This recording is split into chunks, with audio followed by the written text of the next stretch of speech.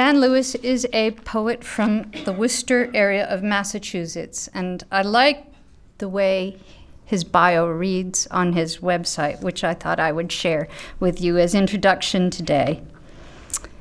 Dan says, while his true vocation is poetry, over the years he has made his living as a retail clerk, a milk tester, a wire stripper, a fish cutter, a librarian, a typist, a freelance editor, and a technical writer. He considers himself fortunate to live in central Massachusetts, where there are some fine hiking trails that he appreciates, as well as a vibrant arts community in support of writers and poets of all stripes.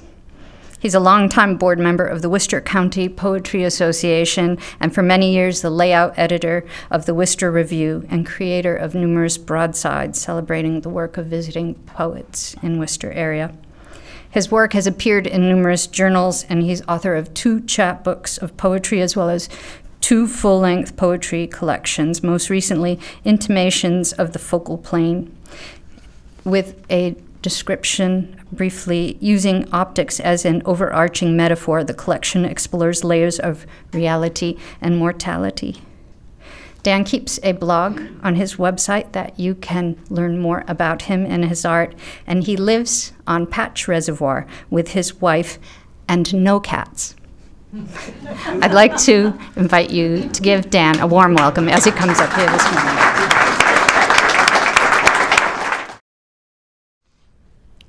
Suppose we resolve to do the only thing that makes sense.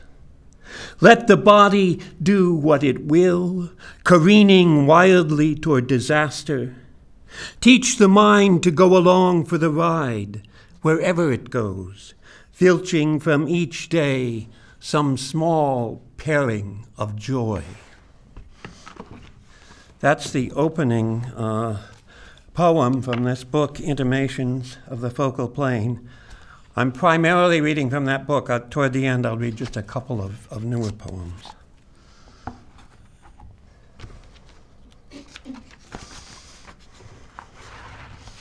North Truro. I'd love to be able to read from the book, but my eyes are such now that I have to cheat and do it this way. North Truro. Fox this morning, trotting along the beach. Old words for new weather, exchanged glances, money back guarantee, anything not already taken. On the windowsill, shells, some stones, odd change from our pockets. You could walk from here to Wellfleet. If you were Jesus, you could walk to Boston. What smooth stones is not just water, remission, canticle, barnacles, and green weed on the emerging rocks.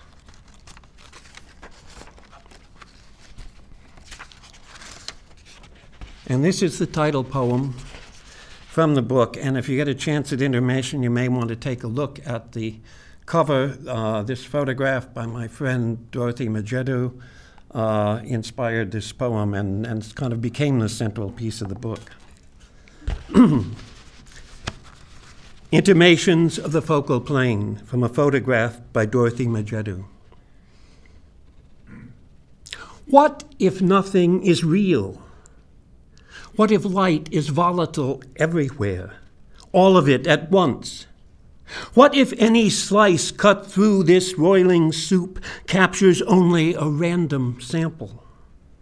Inside your brain or mine, elaborate fictions are built by whatever interrupts the flow window, mirror, cornea, lens. What if the sky appears only where we have learned to put it? Light strikes glass along a plane. The mind invents a story for the eye. Reflections confirm the fiction through which we move. Because everything is mutable, and windows both transmit and reflect. Mountains visible in the trunks of trees, grasslands erupting across wind swept floorboards.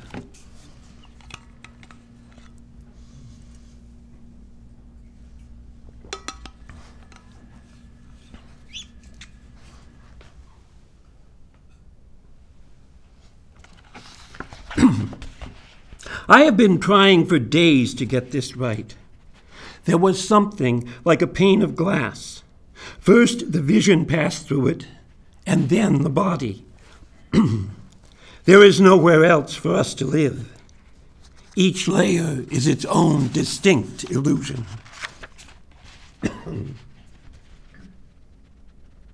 there is a room, trees line the walls. Through the window, mountains. If you sit at the table, you are both inside and outside. Images form on the surface of your retina, but you are learning to disbelieve them. This is just a sort of box into which I have put some things that might be real. Light is real, but its reflection makes things. Things are at best chimerical constructs. If you place your hands on a sheet of glass and it resists, what is it that you touch? There is a field, at its edge a border of stones, birch trees beyond. This is halfway up the wall. Above the trees, mountains. It appears to be spring, unless you count the harsher light from the open window. There, in the middle of the wood, another horizon, sky inside of sky. But this is only how it might be assembled light glancing off the surfaces of impatient reason. Tomorrow, you might still move beyond the window, break the glass, begin again. Falling through the skylight, he sees the world shatter. Everything, everything falling away.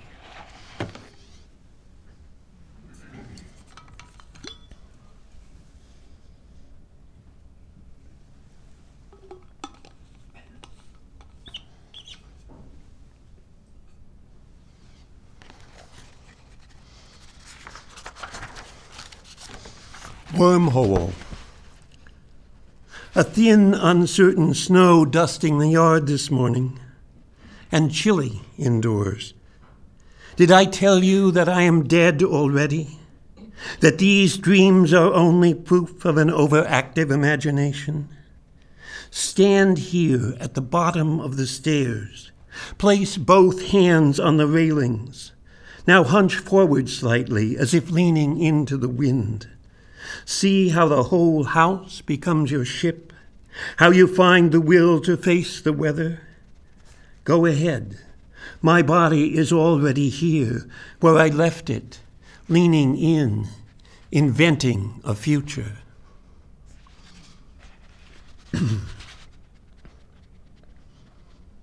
Cold snap.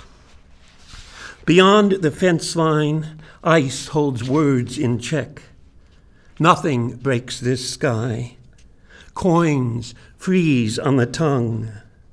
Birds have long since abandoned the rafters. If there was a way into the cave, it is lost now. Someone has hung a pair of gloves on a clothesline. Their gestures pretend a way out of the story. But the iron bell remains silent, its clapper frozen to the rim of the known world.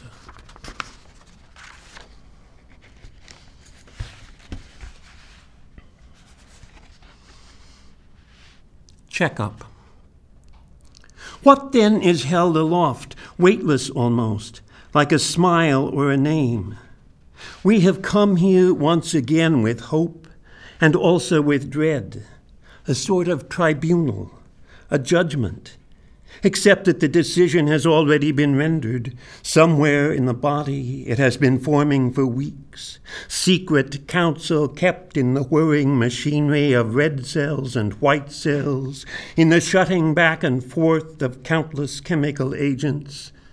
Not a tribunal, then, but an oracle, the casting of bones which will proclaim how we move from here. Yes, like a name and one of those names is letting go.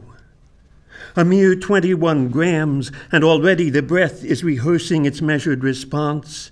And this is not what? If you go back and read the lines now, you may convince yourself that the answer was always there, even when you were a child. At your very first memory, perhaps, your mother bopping your brow, the soft cloth cool against your inflamed skin. So difficult to live in this frail machine that seems possessed of its own will, able so easily to upset any apple cart. But here it is now, held aloft without reason, and you are still trapped in this contraption that stutters and fizzes and will not rest.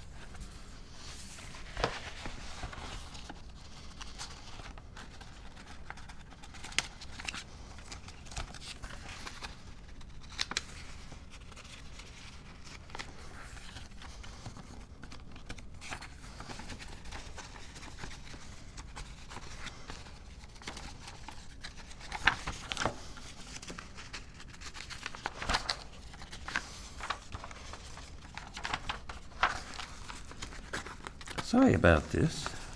It's called neuropathy. Heart of oak for Michael, who built a treehouse. How his mind moved itself into the tree, wood fastened to wood, uncovering the helix at the oak heart, so that body becomes tree on climbing fitting itself into the ancient arboreal memory of growth. It is enough sometimes simply to unfold like this, pouring self back into the world.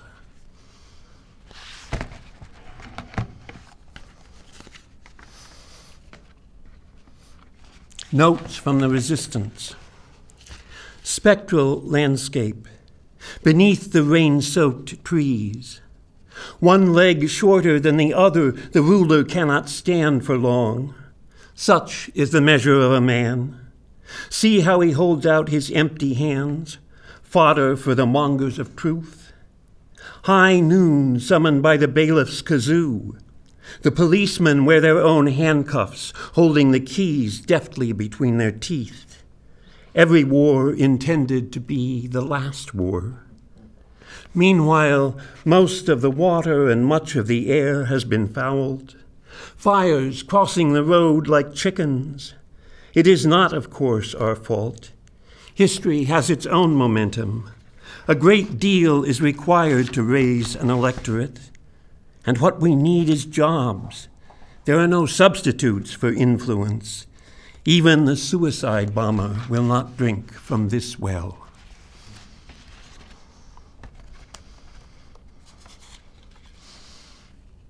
Christmas 2014. As if the world did not stand still, the unexpected light parting the clouds, because we are only here, standing on this same daily ground, lifting these familiar burdens. No one says what happened to all those sheep when their keepers ran off to Bethlehem. After the cities have been bombed and burned, Someone will come to gather up the children, find refuge perhaps in an old barn, begin again.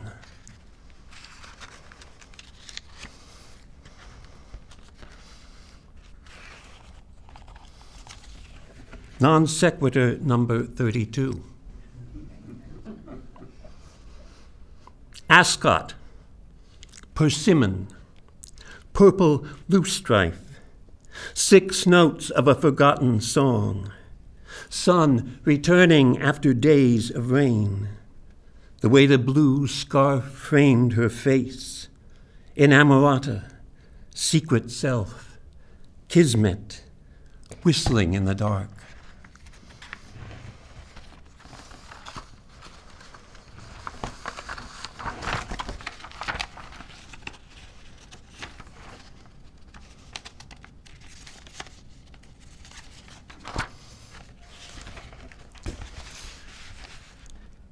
San Mateo, 1953.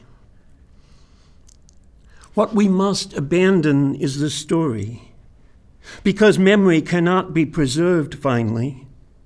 For years, I tried to remember just one of the tunes my grandmother would hum to herself, riding in my grandfather's blue Oldsmobile. Either way, there is no place for that music now.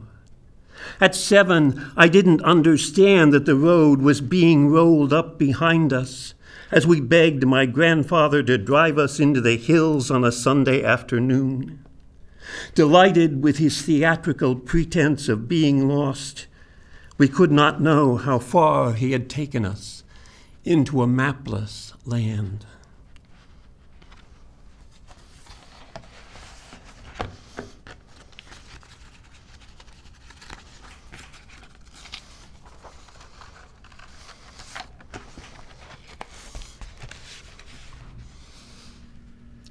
What we're left with matters little enough in the end.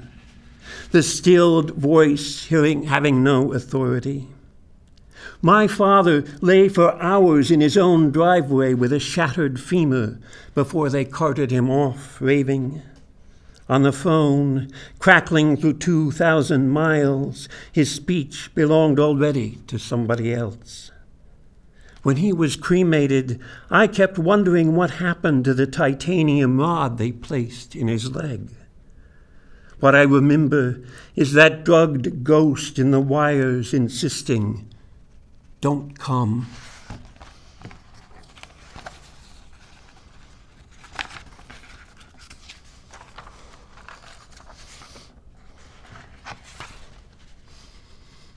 The pond at Trout Brook from a photograph by Dorothy Majedu. Perhaps I have been mistaken all these years trying to separate water from light. Perhaps they are the same thing after all. Could refraction be no more than a trick of the mind attempting to penetrate the layers? Who's to say that trees do not emerge from themselves, and all these glistening surfaces are only the edges of our sight? Maybe I have misunderstood the membrane that divides self from the world.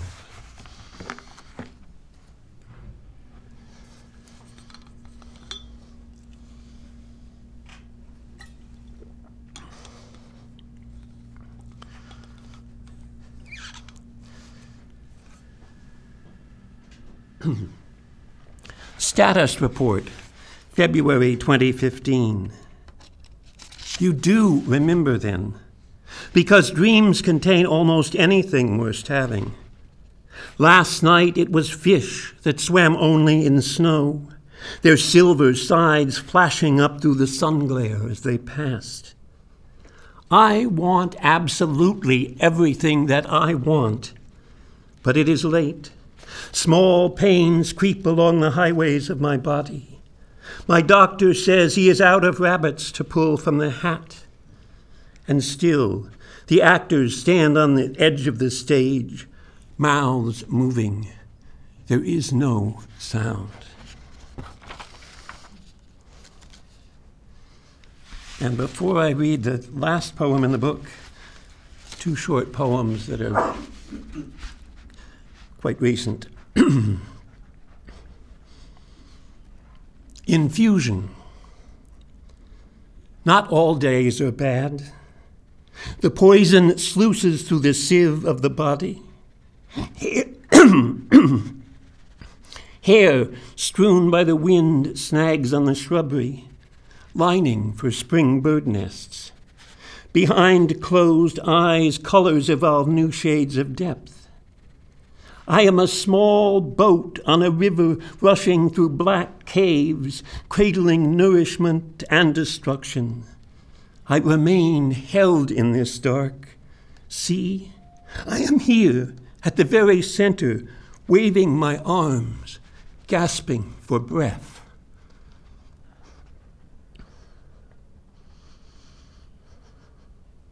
Water fills the bathroom sink emitting a curl of steam in the chill morning. You are living your life. This is what is, not that other thing you dreamed of. In a minute, You will shut off the tap with a smooth pressure on the handle, and then plunge your hands into the soothing warmth with a shudder of pure joy.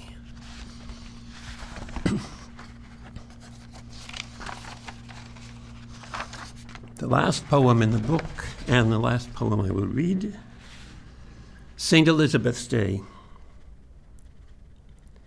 Well and good, but I can't seem to penetrate the fog this morning.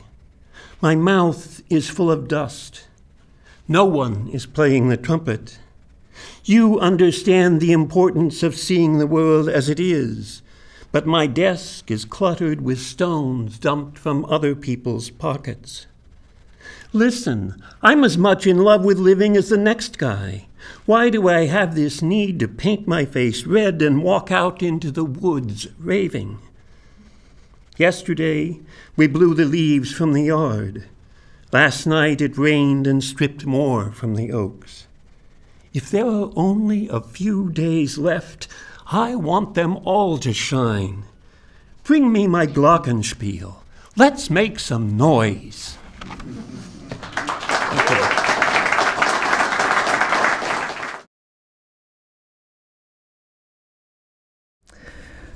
On a subway platform, star spangling our evening, a young man cups his harmonica in large hands,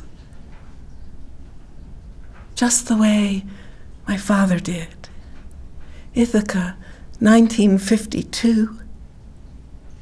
His harmonica, her accordion, her voice, a silver bird small daughters listening. In that moment, sure. Neighbors stepping out of the shadows of their own wars, gathering near. Less than ever at ease with spangled lies and older than anyone sharing that remembered back porch light. I move to stand with my child self, join the tune. Though the heart be weary, sad the day and long, still to us at twilight comes love's old song, love's old sweet song.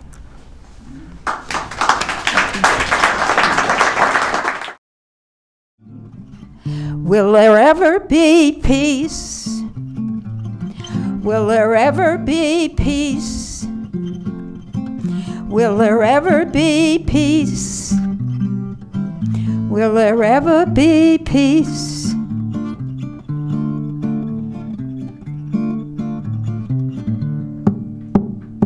passed on from our fathers, passed on to our sons. We think we know the answer, what's right for everyone. Just a little more killing, well, things gonna be alright. We'll reach that blissful state of peace if we fight and we fight and we fight. Will there ever be peace? Will there ever be peace? Will there ever be peace? Will there ever be peace? Will there ever be peace?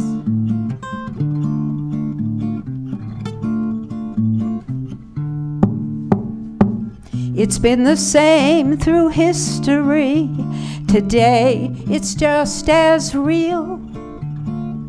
There's never been an answer found upon the battlefield. We must learn to talk of peace and what we're living for.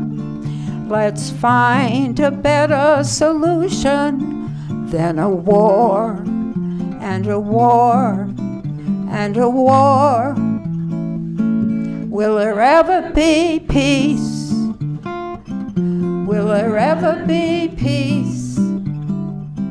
Will there ever be peace?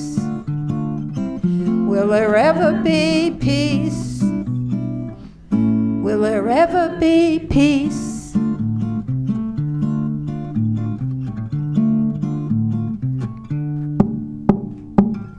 We were put upon this earth a global family. We search for answers in the dark. The light is hard to see. The bird of peace is weeping now. Give her wings to fly, to spread her love o'er all the world and heal the bleeding sky. Will there ever be peace?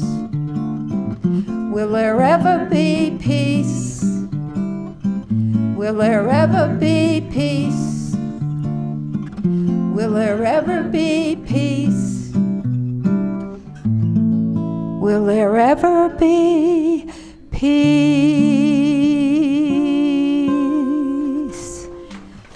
Thank you so much. Thank you, Cheryl.